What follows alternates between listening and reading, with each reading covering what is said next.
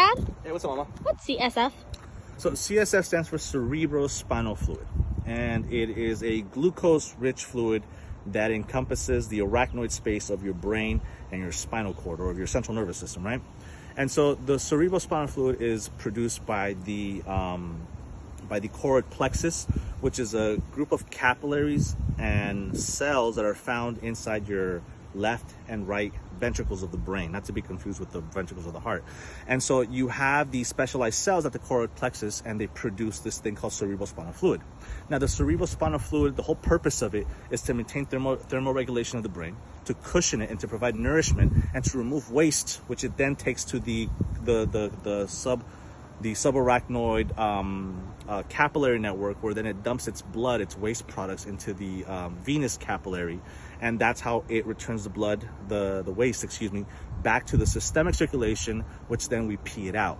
So the cerebral spinal fluid is like its own circulatory network within the CNS, the central nervous system, and so you have the lateral um, left and right ventricles where the choroid plexus is at then it kind of looks like this. If you can imagine like an elephant trunk and the, the elephant ears and the trunk, you have both ventricles and then you have um, the third ventricle down here in the middle and then you have another fourth ventricle at the bottom.